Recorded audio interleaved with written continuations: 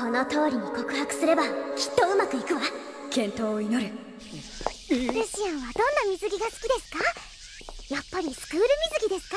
やっぱりってなんだよ。そんなこと一度でも言ったか？いえ。でもスクール水着さえあれば男子はみんな飢えた獣のようになると。偏った知識だな。ルシアンにはスク水は効果薄ですか？俺はまあ普通のがいいと思うけど。ふーんなあちょっとそこの公園寄っていかないか？いいですけど？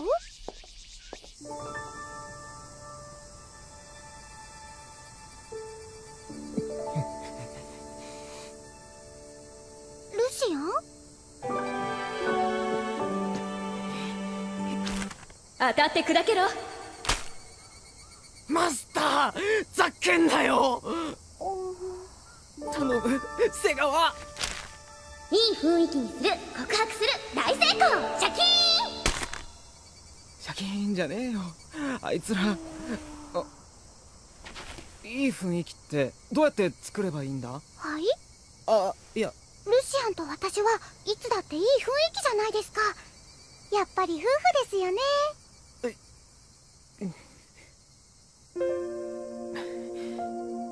アコ俺と。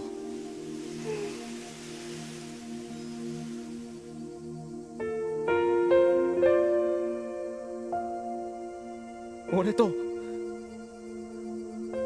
恋人になってくれ。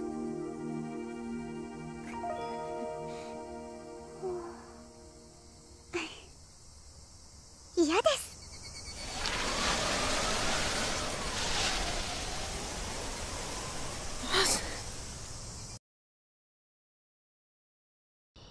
い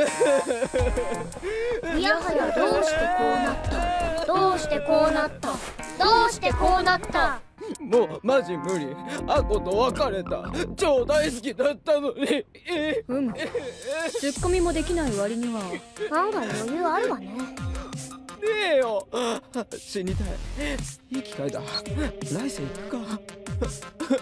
もしもしアコあんた西村に何か言われたでしょちょお前何してくれちゃってんの？死体蹴りオーバーキルうんうん。でアコはなんと？